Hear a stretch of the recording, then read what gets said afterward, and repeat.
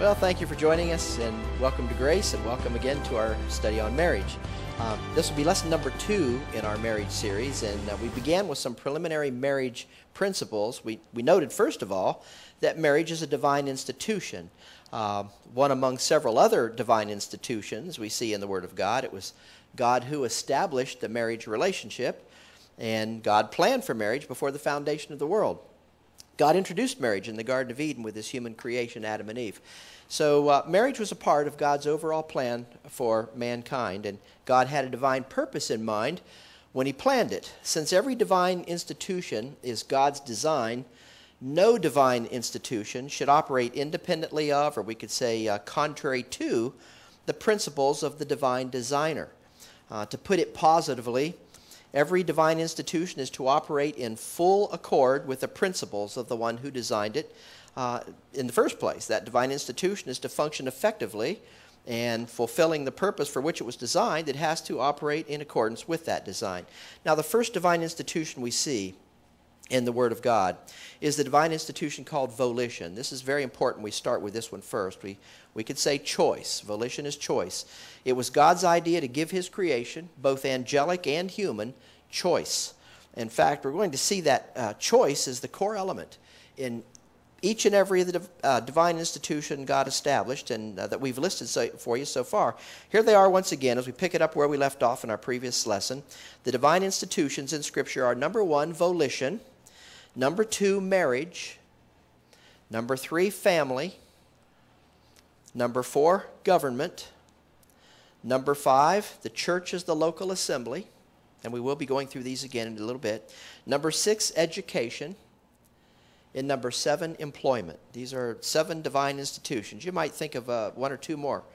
Uh, but notice, first of all, that God instituted volition. That's right at the outset, and for good reason.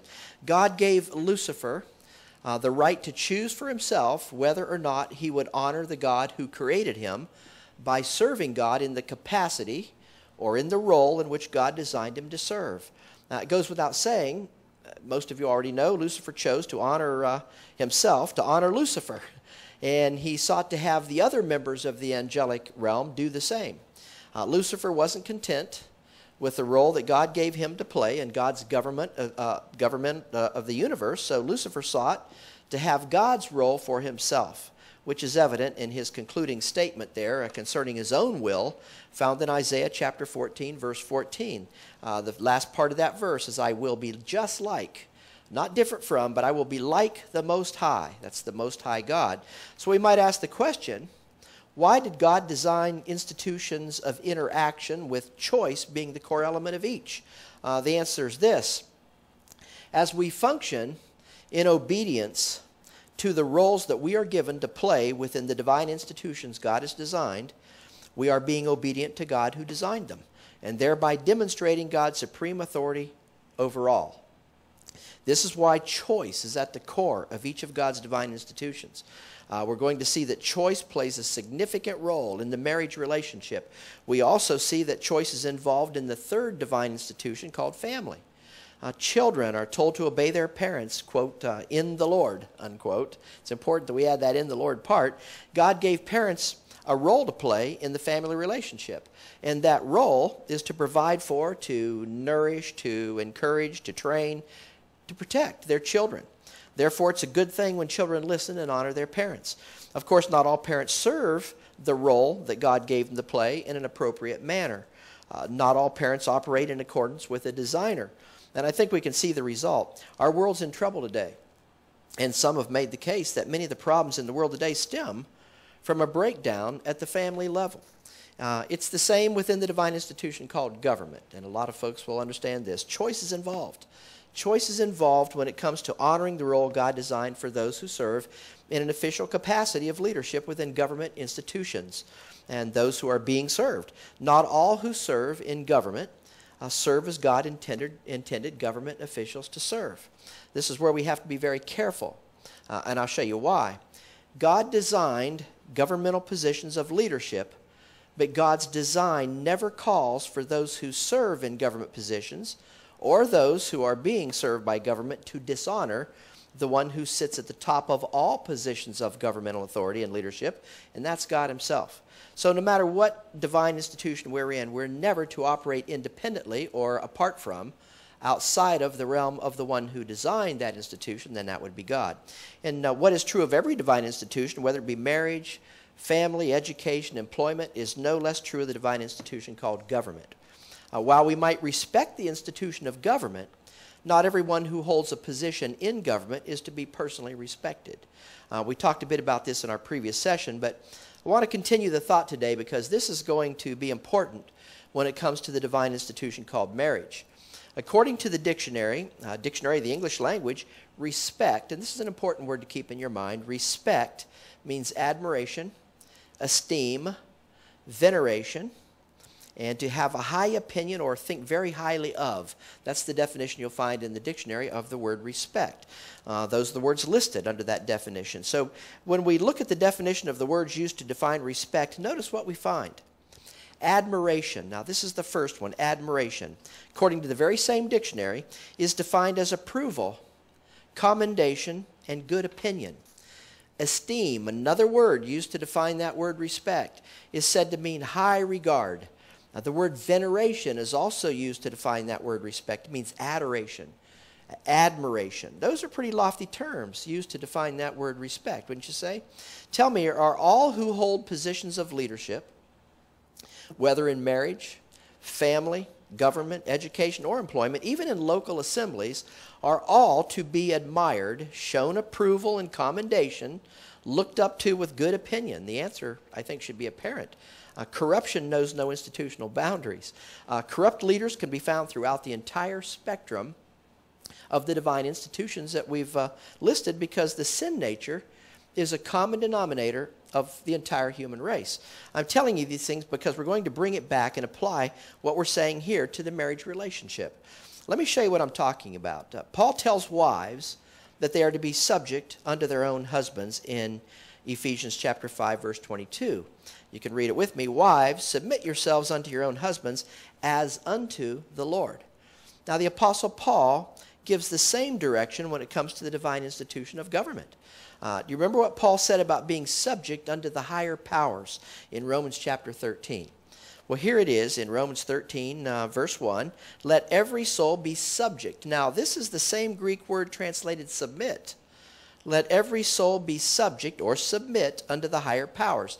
In other words, the same admonition applies in every divine institution.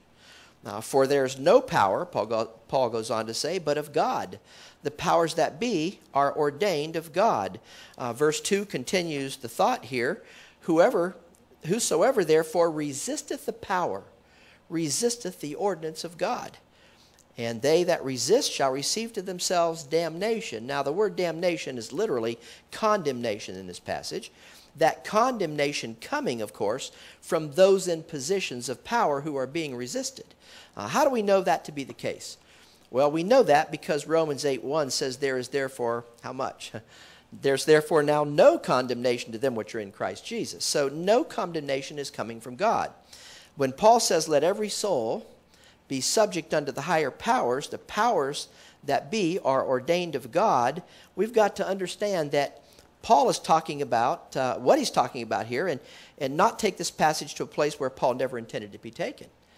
Uh, does submission or reverence to a position always mean respect, as we often think of that term, uh, when it comes to the person that holds the position of authority in that divine institution? Well, not every person holding a leadership position is worthy or, of respect in the sense of being admired, worthy of approval and commendation, looking up to with high esteem or regard. And it doesn't matter the institution. You see, there are those today, uh, religionists no less, who would tell us that obedience to those who sit in positions of authority no matter the divine institution we're talking about, be it family, marriage, employment, or government, is set in godly concrete, and no matter what the directives are by the directors in those institutions, they should be obeyed without question. Uh, the idea being this is how you show your subjection and your respect to the authority structure God put in place. Well, I'm not in agreement with that. Show you why in a bit. I think we have to be very careful in, under, un, in our understanding here um, of the word respect and to whom Paul is directing his comments. A few years back, a well known preacher stated in his series on marriage that wives should submit themselves unto their own husbands as unto the Lord. Well, that's exactly what the Apostle Paul tells the wives in Ephesians 5.22. Um, that's exactly what we're told to do, or wives are told to do. But how should wives do that? Well, this preacher said, picture the Lord standing behind your husband. As that husband takes whatever stand he takes in every decision he makes, don't look at that husband.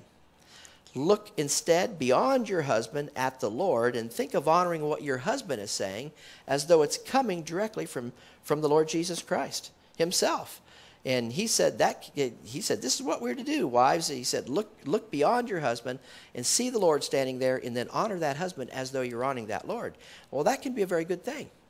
But it can also be a very bad thing. Uh, is that what Paul's talking about when he states that wives are to be subject to their own husbands as unto the Lord?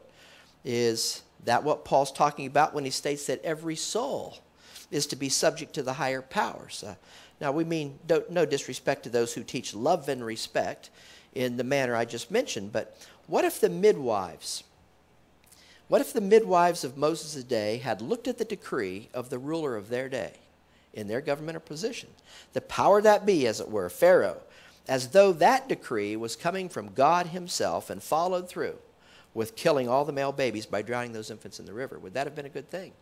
I think we can see it wouldn't.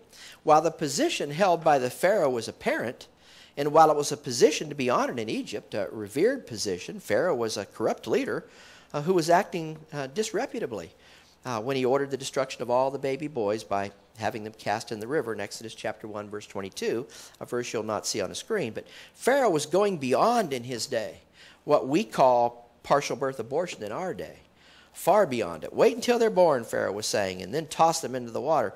Um, tell me, was Pharaoh a person to be admired, looked up to with high esteem at that time? Uh, was he worthy of approval and, and commendation? Well, his position demanded esteem, most certainly but not his person. And that's what we're trying to point out here. Why not? Because Pharaoh was acting contrary to God's principles of governing, and his conscience should have told him as much. Uh, when Christ was an infant, King Herod was operating contrary to the principles of the God who instituted layers of governmental leadership. Herod wanted the life of all baby boys aged two and under to be terminated. He was kind of reckoning when Christ was born, and he wanted all baby boys, two and under, eliminated. Uh, was King Herod a man to be admired at that time? Well, obviously he was not. Was he a man to be looked up to, highly esteemed personally? The definition of the word respect? Obviously not. Uh, you see, respect does not always mean what we sometimes think it means, and this is where we have to be careful. God told Joseph in a dream to flee from Egypt uh, which effectively bypassed Herod's decree. Uh, Herod held an honored position, we understand that, even though Herod acted dishonorably. Again, the office Herod held was an office demanding respect, although the one holding that office was not a respectable person, and therefore not a person to be admired and venerated, which is the, the dictionary definition of that word respect. Herod could be revered for the position he held, but was the one holding that position worthy of the respect of the people who he ruled? Well, the answer, as you well know, is of course not. What if Peter, think back to, uh, ahead actually from Herod's day, what if Peter and John had looked at the Jewish high priest, the Jewish council or senate of their day as it was called, and pictured Christ standing over the shoulder of those religious and political leaders and said, We are going to serve you, the Jewish council, as though we are serving Christ himself? rather than saying we ought to obey God rather than men. Uh, what if the subordinates of Hitler's day had said, There is no power but of God, the powers that be are ordained of God, and then took that to mean that God is the one who placed Hitler in power? Um, what if they had said, You are God's ordained power over us, Adolf? We're going to picture Christ standing behind you. We're going to serve you, Adolf Hitler, just as though we are serving Christ. That makes sense? You see the absurdity of that kind of thinking? Now, I know someone will say you're taking this to an extreme. Uh, Paul isn't asking a wife to be subject to or reverence to her hus- reverence her husband if her husband is asking her to do something illegal or immoral. My answer, of course, I'm taking it to an extreme. But I want you to catch something very important here, lest we take the respect concept, which some have done, to a place Paul never intended it to be taken. First of all, Paul is not talking to unbelievers there in Ephesians chapter 5, where he tells wives to be subject to their own husbands. He's talking to what we might call grace age believers. He's talking to those who have already believed his gospel, the gospel he was sent to preach. He's talking to wives who are believers, wives who are to be subject to their husbands who are themselves believers. Husbands who are in turn following Paul as their leader, as Paul followed Christ as his leader. Paul isn't telling unbelieving wives how to be subject to their unbelieving husbands, or how to reverence unbelieving husbands, or how to reverence husbands who are operating contrary to the God who ordained marriage in the first place.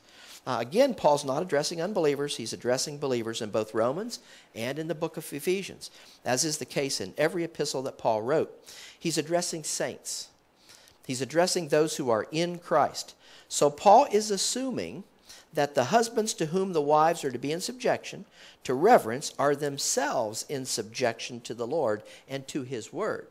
Uh, we can say we are in subjection to the Lord, but if we're not in subjection to His Word, we're not in subjection to the Lord. And that is His Word rightly divided. These are the husbands that wives are to revere, folks, the ones who are in subjection uh, to the Lord by being in subjection to His Word. Husbands that are revering the Lord and His Word. It's no different. It's no different when we come to the divine institution of government. Paul isn't speaking about governments in general here, and everybody's supposed to honor the government in place. Uh, Paul's talking about government as God ordained government to operate. Um, what does the Bible say about God ordained government? Well, there's a whole lot in Scripture about God ordained government, both in the Old and the New Testaments, as they're sometimes called. What government did God put in place in the Old Testament uh, program where the nation Israel was concerned? Let's take a quick look at that. Here it is in Deuteronomy chapter 16 and verse 18. Judges and officers shalt thou make thee in all thy gates, which the Lord thy God giveth thee, throughout thy tribes, and they shall judge the people with what?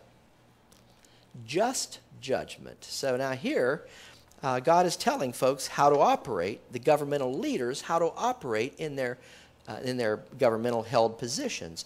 It's not corrupt government, it's, it's, but just, meaning righteous government. That's how God ordained government to operate. Uh, of course, people put other people in positions of governmental leadership, and sometimes, oftentimes, they do not operate according to uh, God's standard. Verse 19 continues the thought there, Deuteronomy 16 19. Thou shalt not wrest judgment, thou shalt not respect persons. That would be mean rich or poor. Whoever comes in uh, to that under sitting under that governmental leadership, uh, the, the leadership should not respect the rich or the poor, neither take a gift. For a gift doth blind the eyes of the wise and pervert the words of the righteous. Uh, would you say there's any gift taking? Any what we might call graft behind the scenes taking place today when it comes to some hold, who hold government office? Of course there is. There's plenty of it. God never ordained that those in power operate the way many in power operate but they operate that way nonetheless. Uh, and again, this has nothing to do with a party that's in power. This is true across the governmental spectrum. Um, power corrupts, and someone has said long ago, and uh, absolute power corrupts absolutely. But tell me, are all government officials worthy of respect in the sense of being admired? Worthy of approval, commendation, looked up to with high regard and esteem by their constituents. Well, there's a lot of information about God ordained governing in the book of Proverbs. For instance, Proverbs 16, verse 10, states this A divine sentence is in the lips of the king. His mouth transgresseth, trans, transgresseth not in judgment, meaning his mouth shall not betray justice. Verse 12 goes on to say, It is an abomination to kings to commit wickedness for the throne is established by righteousness. Now, would this not be true in all government, God ordained governmental institutions? Well, certainly it would. God ordained rulers, those in positions of governmental authority, should not govern wickedly. Uh, God did not intend for government officials to function in that fashion. Proverbs 17, verse 7 states, Excellent speech becometh not a fool, much less do lying lips become a prince. Uh, we could go on and on. Proverbs 20:18 states, "Every purpose is established by counsel, and with good advice make war." Uh, Proverbs 20 26 states, A wise king scattereth the wicked and bringeth the wheel over them. So these are all statements right from the book of Proverbs about the wisdom that should be exercised by a government, somebody in governmental position of leadership. Uh, Proverbs 29 12, if a ruler hearken to lies, all his servants are wicked. So, how about government when it comes to education? Uh, education is a divine institution. What does God have to say about that? Uh, well, in the Old Testament, Deuteronomy 6, verses 4 through 9, God gave jurisdiction of a child's education not to an educational system, but to the parents, not to the local church, and especially not to the government. Uh, but not even to a Sunday school class in a local church. Uh, you can look that passage up on your own if you like, um, but God gave the jurisdiction over a child's education to the parents. In Deuteronomy, Numbers, Matthew, and the book of 1 Timothy, uh, we find God's word about the government and the poor. Help to the poor was to come from their own families. Uh, only after that was it to come from the charity of individuals and institutions, such as local assemblies. Paul writes in 1 Thessalonians chapter 4, beginning with verse 9, 9 through 12 rather, and 2 Thessalonians chapter 3, verses 6, 15, that people should work for their living.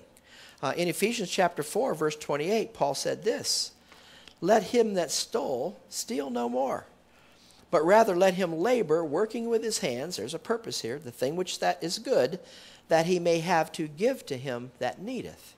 So the Bible certainly endorses kindness to the needy through individual giving. But nowhere in the Bible does God obligate the government, obligate the government to take care of the poor and the needy by enforcing higher and higher taxes, uh, which, if need be, are collected forcibly. Charitable giving is God ordained. We, we understand that. It's a part of the believer's labor of love. Charitable giving is one thing, and it's certainly God endorsed. Enforced giving is another thing, and God never endorsed that. Nowhere nowhere in the Bible will you find God endorsing that. Uh, the Bible is, is chock full of direction related to God ordained governing. Now, are people giving? Well, possibly not so, and probably not so in every case, but we might say it this way there's loads of leadership information. In, in God's guide to leadership, uh, which of course is His written word.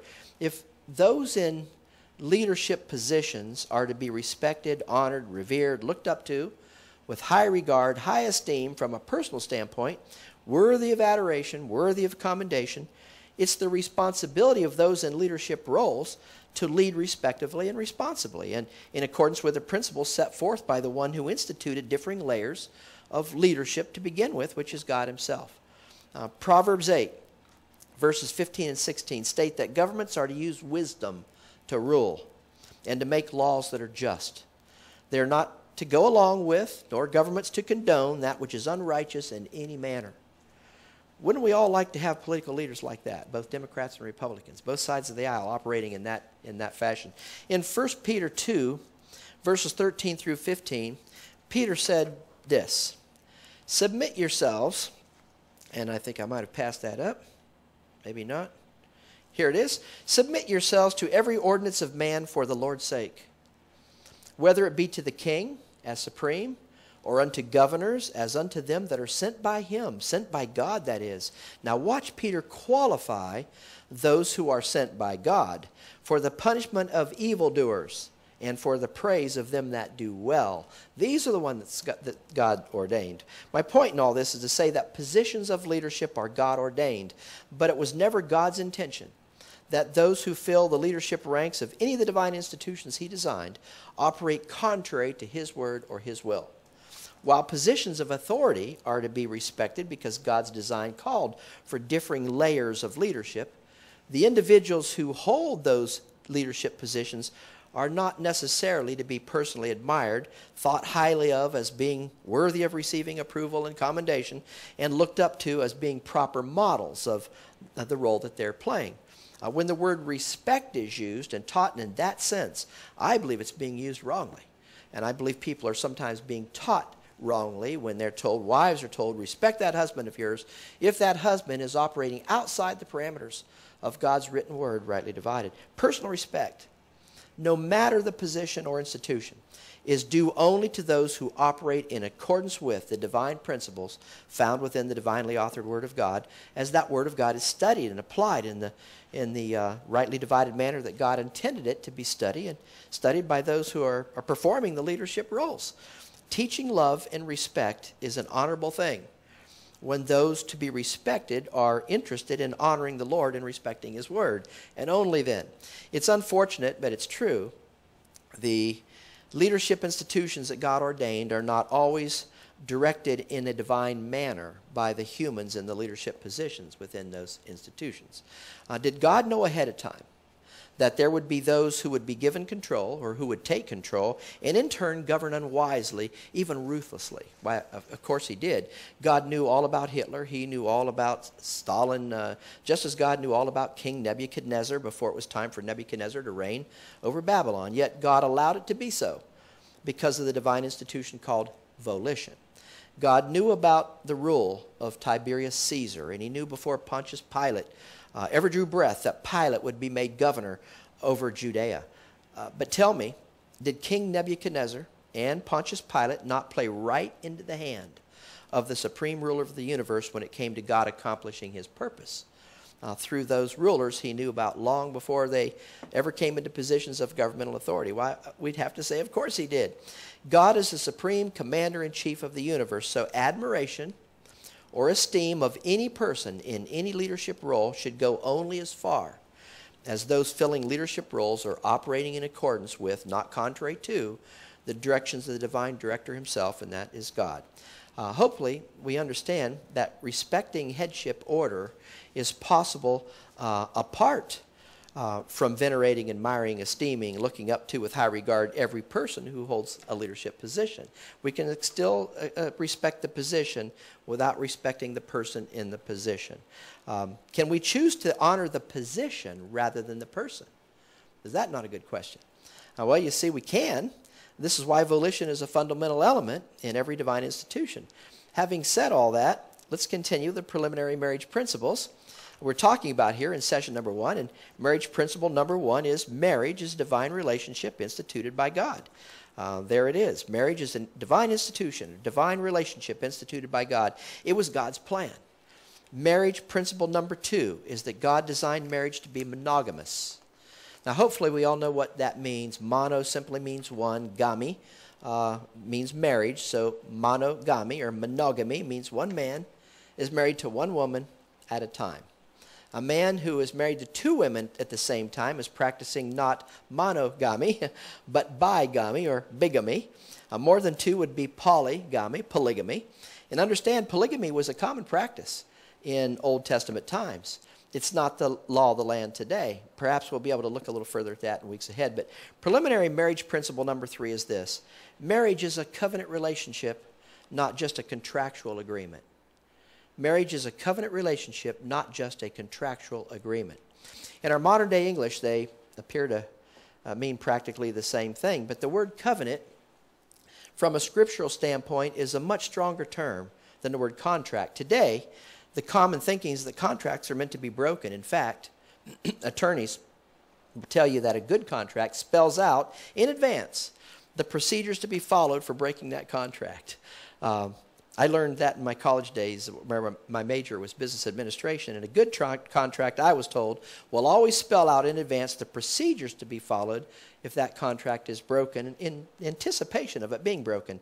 I remember that like it was yesterday. Well, a lot of folks enter marriage with that idea in mind. Uh, they, the breakup is planned at the outset. Uh, the as long as we both shall live part of the marriage process has been replaced by as long as we both shall love. Uh, when love leaves, we leave. So we better pre plan. That departure is the idea there. Love is, is most often gauged by emotion. And when the emotion begins to wane, it's time to call it quits for a lot of marriage partners. And oftentimes people decide beforehand, should calling it quits become the, the case, who gets the house, who gets the car, who gets the kids, the pets, and, and on and on it goes. Uh, where it stops, only the attorneys know. well, God designed marriage not as a contractual relationship, but as a covenant relationship, which is something far different. If you've been thinking of it as a contractual relationship and nothing more, you can expect nothing more.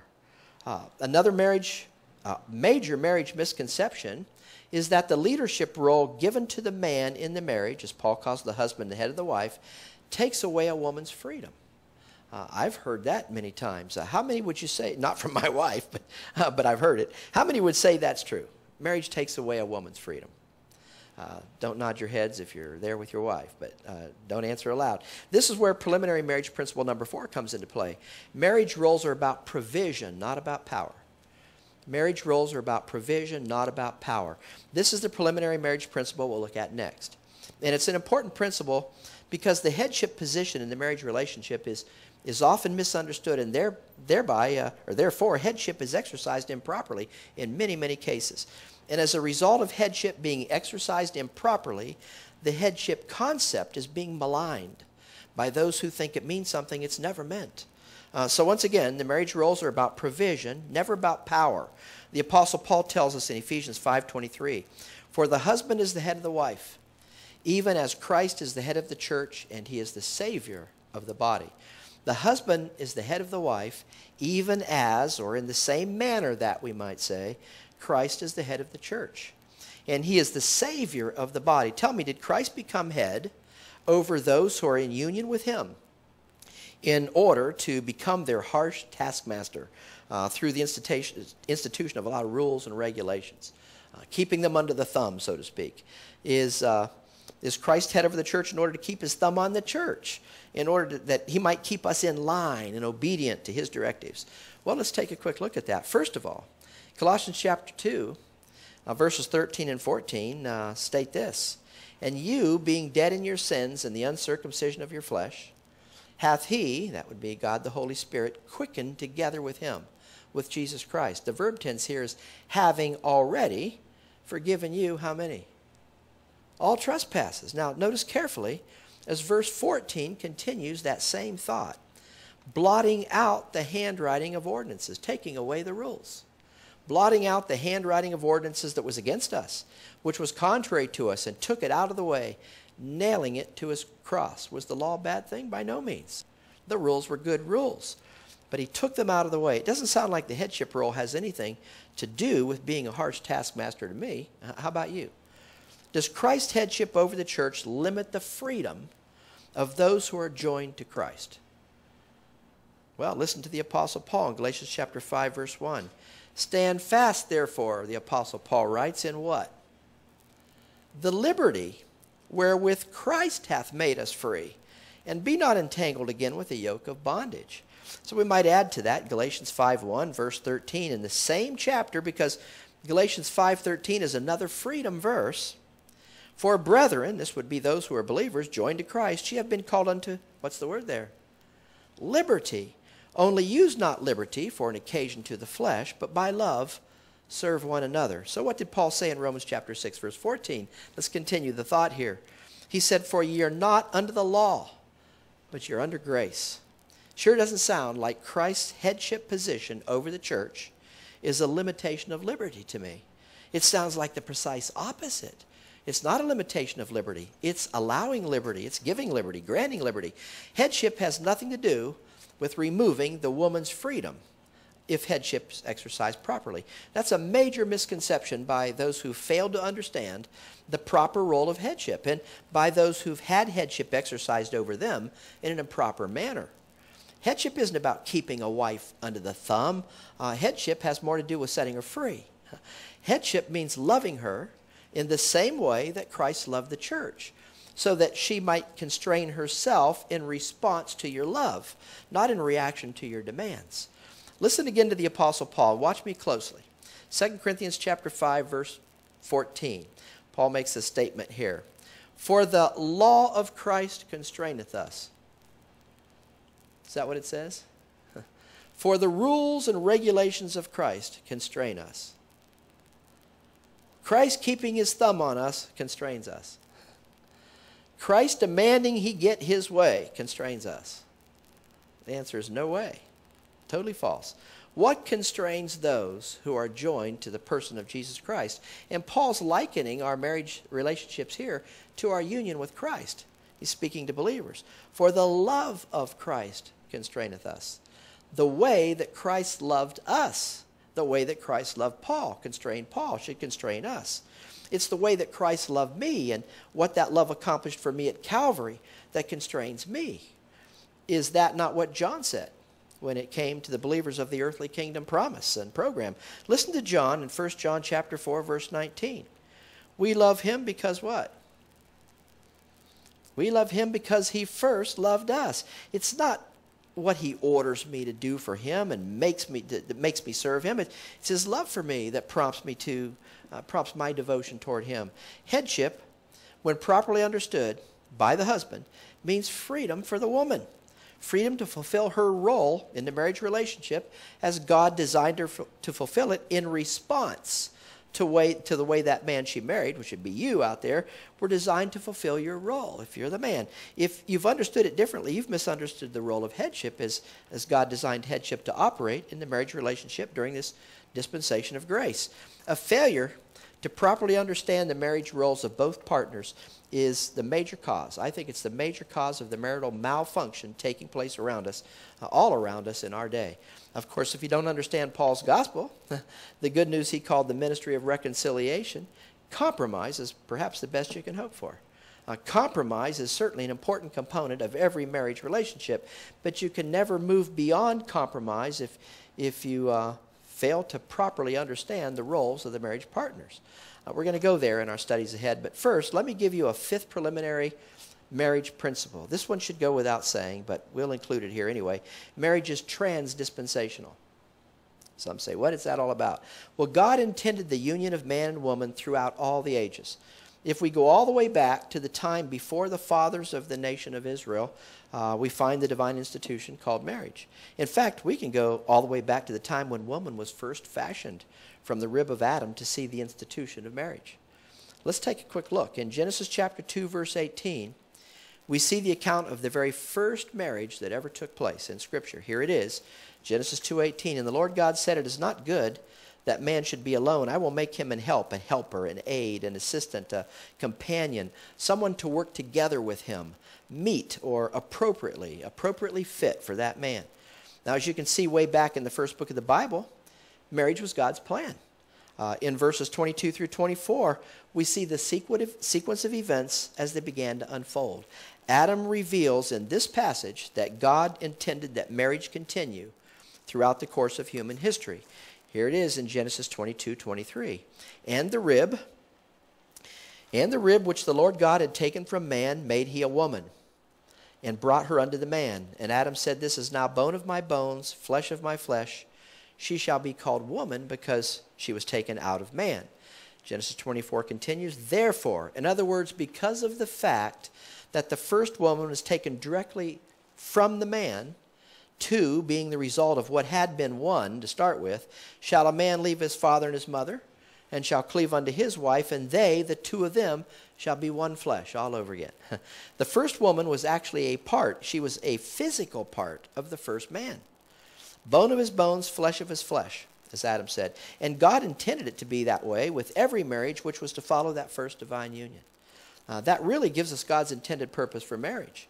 Um, the purpose for marriage is union, two being united so that the end result is one. uh, the physical merely pictures the reality of the oneness that God designed by the marriage union. But it goes far beyond the physical. A brand new identity is formed by the judicial decree of God.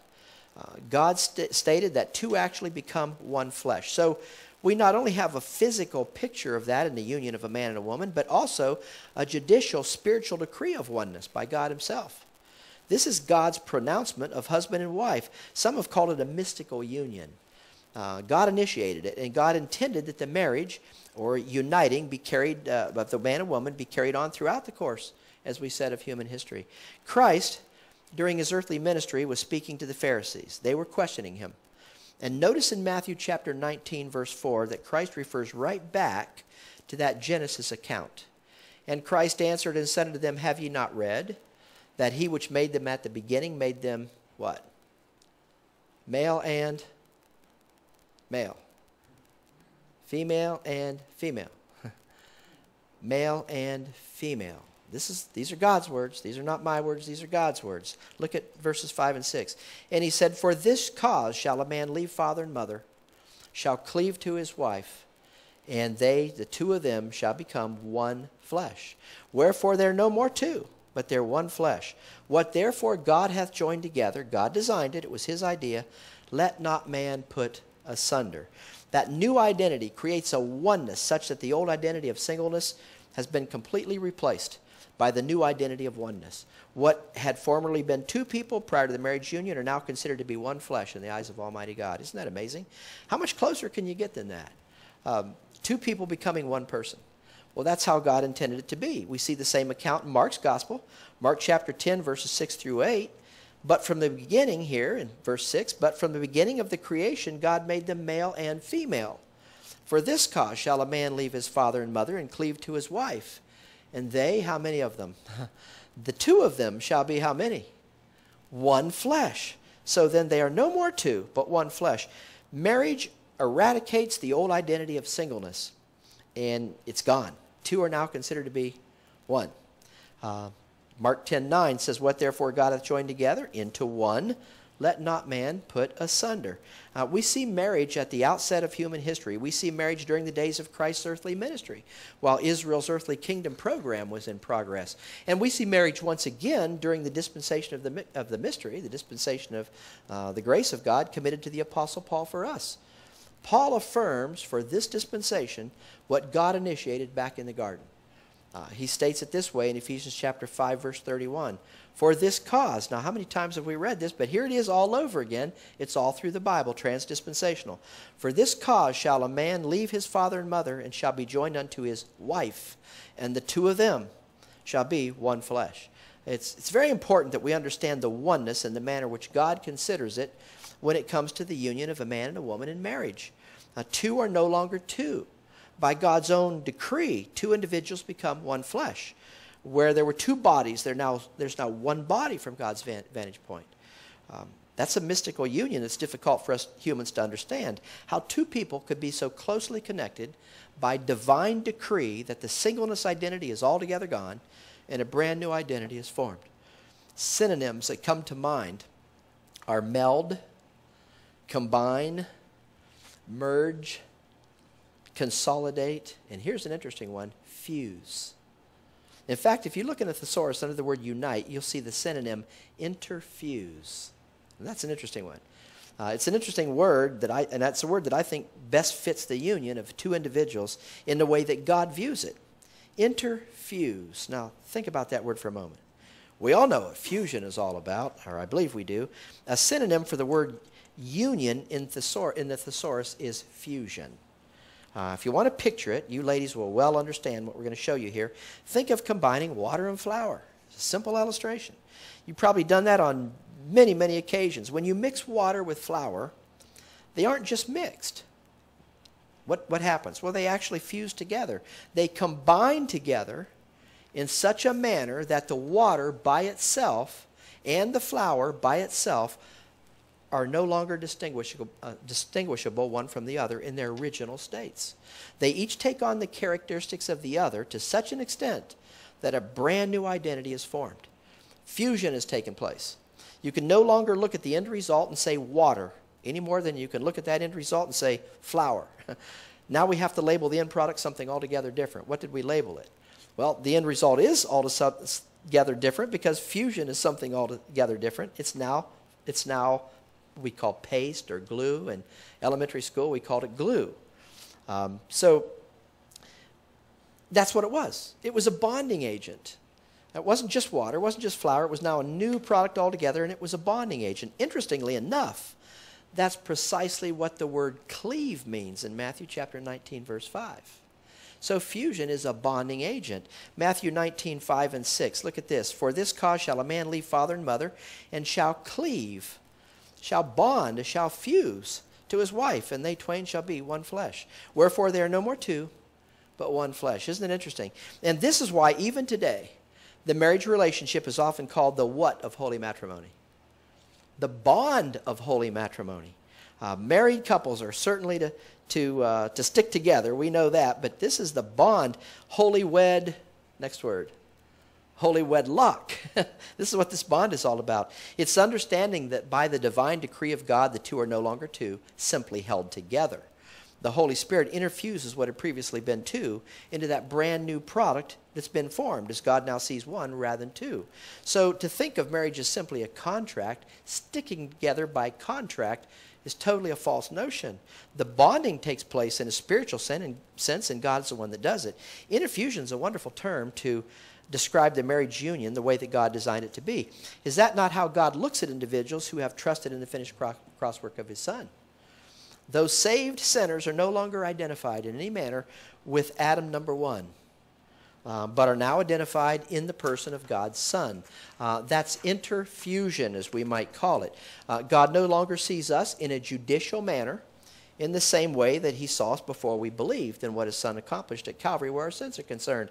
Prior to believing the gospel, we were something else altogether. We had a different identity. What, what scriptural term did Paul use to describe who we once were. Would anyone recall that? Uh, we mentioned in a previous study, but Paul called it the old man. That's who we once were. We were once were that old man. But you see, when we believed Paul's gospel, an interfusion took place that we couldn't feel, we couldn't see it, uh, we wouldn't even sense it in any manner. Uh, we just have to be told about it and then believe it. Uh, Paul tells us that it took place no matter whether we understood it took place or not, it did take place. What happened? Well, the Holy Spirit immersed us, not into H2O, the Holy Spirit immersed us into the person of Christ Himself. That's interfusion. No water involved here whatsoever. Uh, we became part and parcel of our Savior. And having studied through the sanctification cornerstone of the book of Romans, you folks know well uh, what that's all about. You remember the way Paul described it in Ephesians chapter 5, verse 30. Here it is. For we are members of his body, of his flesh, and of his bones. God no longer sees us in our original state. When we accepted the salvation Christ provided, at that very instant, God began, began seeing us as something else altogether. No longer the old man, but now the new man. We became a brand new creation as we became part of Christ's body. We've put off the old at the point of our belief.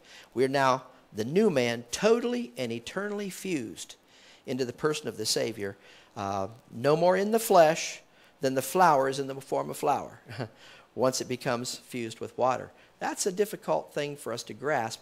It's not so difficult for us to grasp when we understand it in Scripture, but it's difficult for us to hold on to that as being true.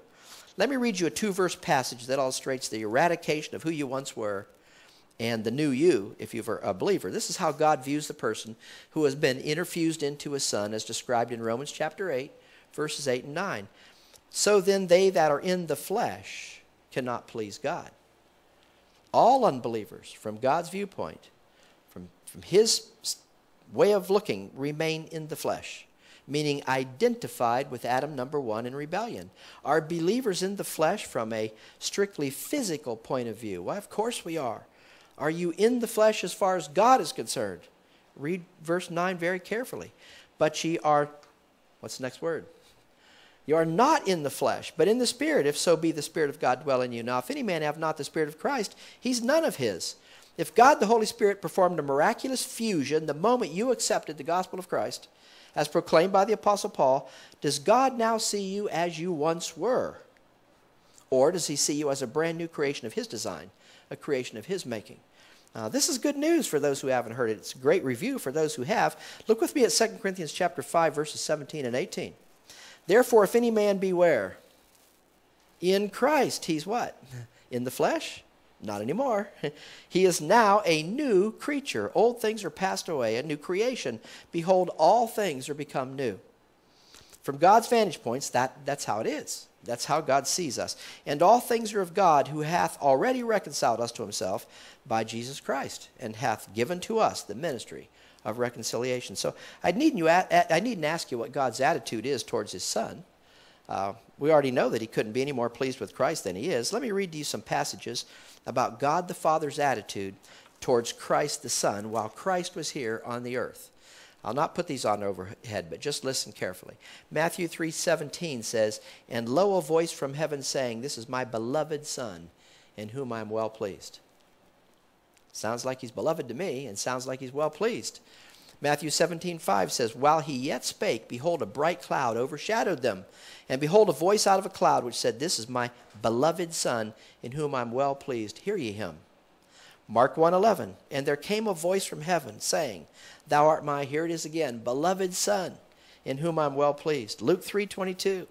The Holy Ghost descended in a bodily shape like a dove upon him, upon Jesus Christ that is, and a voice came from heaven which said, "Thou art my beloved son, in, there, in, in thee I am well pleased."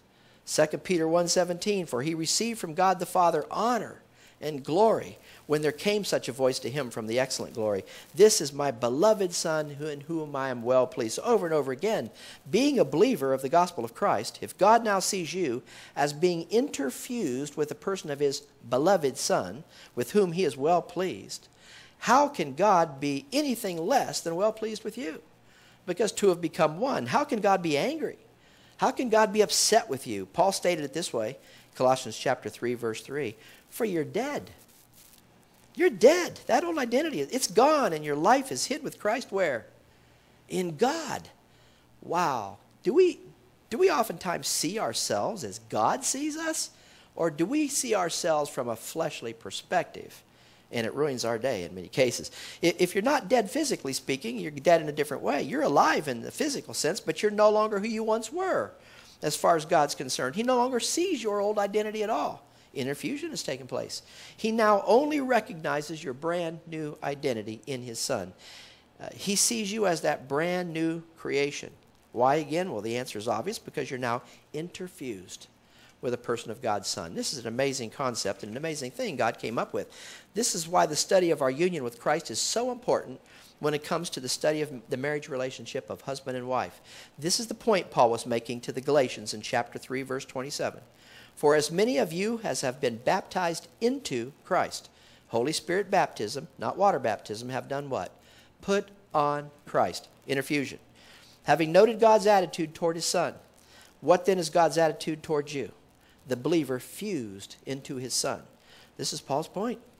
this is Paul's point in Ephesians chapter 1 and verse 6, where Paul wrote these marvelous words To the praise of the glory of God's grace. Isn't that something? to the praise of the glory of his grace, wherein he hath made us accepted how? In the beloved, beloved. Not that we have made ourselves acceptable to him by what we do through our fleshly performance, because we're no longer in the flesh. God is not viewing in any way whatsoever the fleshly performance of the individual who's a believer. Not in any way. Now that's an amazing truth, because we're dead to sin. We are not in the flesh from God's vantage point. This is an amazing truth. This is something we should latch onto and take to heart and, and make a part of our everyday operation. This is one to stick on your refrigerator door. Uh, even nail it to the door if you have to. To the praise of the glory of his grace, wherein he hath made us accepted in the beloved. Interfusion. We couldn't make ourselves accept acceptable to him. Uh, we couldn't make ourselves acceptable to God in a million lifetimes of trying to make ourselves acceptable to God. We had to have somebody else do that for us, and He had to make us acceptable to Him, and He did so. And the way He did so is the core, is the heartbeat of the mystery that was given to the Apostle Paul to reveal to the Gentiles. And not only to reveal to the Gentiles, but how many men, uh, how many did it take? How many was did God intend that Paul tell uh, about the mystery to make all men see the fellowship, koinonia. Koinonia means the oneness, the positional oneness. Uh, to make all men see that oneness related to the mystery. So, Paul's purpose, uh, the purpose God gave him was to go out and make all men see the oneness they have together in Christ, not only with Christ, but with one another if they're believers. And that's not just the people of the dispensation of grace. Paul was given to make how many men see this again? All men. Don't think he didn't make the kingdom saints aware of this oneness. He absolutely did. And I, they were rejoicing in the same oneness Paul was rejoicing in, I'm sure.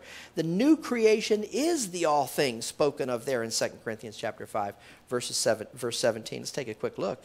Therefore, if any man be in Christ, this is our interfusion, he's a brand new creation. He's a brand new creature. Old things, gone. That's your old identity in Adam number one gone, never to be dredged up again, never to be brought up and examined closely and then purged again. You are the new creation. You'll never be that old creation ever again. Behold, all things, God's brand new way of looking at us as believers, are become, next word, new. There it is. So, from God's vantage point, we can't say it any more than we said it. That's how it is. Uh, no wonder the very next verse in this passage, the one that many of us are so familiar with, appears where it does and says what it says. 2 Corinthians 5:18, and all things are of God. That interfusion was his idea, who hath already reconciled to us to himself, not by what we do, not by what we don't do, not by what we commit to do or commit not to do, but by Jesus Christ himself. Uh, these are marvelous truths, folks. Interfusion accomplished what our performance, what our production could never accomplish. The problem with most believers is a failure to recognize who they now are in Christ, and therefore a failure to understand how God is viewing them. Our old identity in Adam number one, forever God, gone. God will certainly never dredge it up again, or dredge it up again, I should say. Carry that thought on through. What did Christ say concerning the marriage union? What therefore God hath joined together, interfused to make one. Let no man put asunder. Our marriages, and this is how God designed it, should be a picture of our union with Christ. That's why he designed marriage relationship. God allows no one to tamper with our union with his son. Who shall separate us from the love of Christ? We read uh, in the closing segment of Romans chapter 8. The answer is nothing. Nothing's going to separate us from the love of Christ. Uh, it was Christ who died, God who justified. Nothing shall separate us from the love of God which is in Christ Jesus our Lord. Simple as that. Uh, the same should hold true when it comes to the marriage relationships uh, with husbands and wives. What therefore God hath joined together, interfused into one, let not man put asunder. Now, asunder is an interesting term. We've got a couple minutes to explain it. Um, when we think of sundering, we think of tearing, do we not? We think of rending or ripping or tearing something apart. Uh, well, to sunder, that's what it means. When we think of sundering, we think of rending. Uh, rendering, sunder is a verb, to sunder, to rip. Uh, to, to sunder something is to divide into parts or to separate, to take something that is one, divide it into two. The word asunder, which is the word used here, the word asunder is the adverb. It's the adjective. It's not the verb. Asunder describes the condition, or we might say the position, of that which has been sundered. You see why the word asunder? When you sunder something, you separate it, you divide it so that the space comes between that which has been sundered or ripped, torn. Webster states it this way asunder means apart from each other in position, to create or allow for a space to come between. Is that not interesting? That's not what God intended where marriages are concerned, since His desire is that our human marriage relationships picture our relationship with Christ Himself. But that's what's happening nonetheless. Marriage sundering is commonplace. Many, many have experienced it, and painfully so. So the space has come between husbands and wives in so many relationships, and it's happening every day. Um, some folks say that nearly one out of every two that comes down the assembly line breaks off and falls apart. Now you have two, where you began with one. We're not painting a perfect picture, are we, or even a pretty picture uh, of our union with Christ. Well, We've seen some preliminary marriage principles, and we've noted the purpose of marriage. It's always union from two to one. In our next study, we'll look at the plight of marriage, and we'll, we'll begin to examine some of those areas of marriage sundering, uh, ripping apart, as those areas are pretty well defined today. We can look at them, uh, whether they be Christian counselors, whether they be lay counselors, as they might be called, or uh, counselors in totally unbelief. They know the areas where marriages fall apart. And this will lead us into God's solution to marriage sundering. We might call it God's prescription for marriage pain.